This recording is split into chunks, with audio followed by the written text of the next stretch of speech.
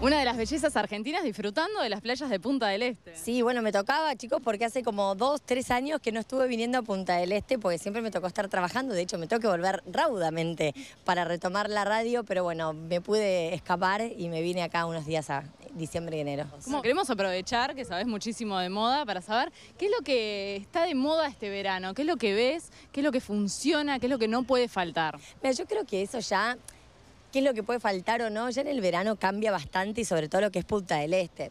Siempre tenés las chicas, las que te van marcando las tendencias, las chicas IT. Creo que vienen mucho lo que son las túnicas y que te pones arriba del traje de baño.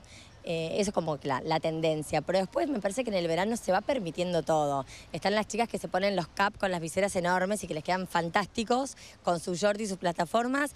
Eh, se usan mucho las pantuflas que vienen como con peluches o, o con piel. Eh, se usa mucho eso, que es como está top, top, top. Eh, pero después creo, creo que en el verano vale todo. Valen los colores, el blanco siempre es un clásico cuando se trata de, playa y de mar y sol. Eh, pero creo que el verano va permitiendo absolutamente todo.